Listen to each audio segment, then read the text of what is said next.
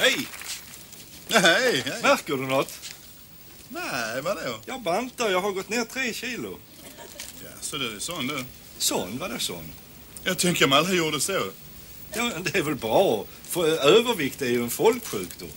Vet du hur många människor det bor i Sverige? 8 miljoner 357 622.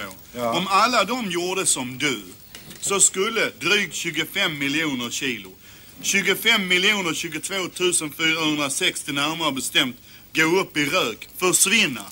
Tänk då om varje svensk väger 70 kilo i genomsnitt. Vet du hur många människor det skulle bli som försvann? 357 428 människor som bara försvann. Och om man då betänker att de i snitt betalar 15 422 kronor i skatt så blir det drygt 5 miljarder.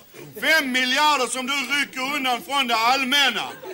De kunde gått till försvaret till exempel. Men bara för din fåfänga för att du vill vara snygg så utarmar du det svenska försvaret, öppnar rikets gränser för folkets fiender och kanske leder det till en framtid att vi kommer leva under utländskt barbariskt förtryck och kanske i slutändan utplånas från jordens yta. Ah! konuşma gayrı. Hey!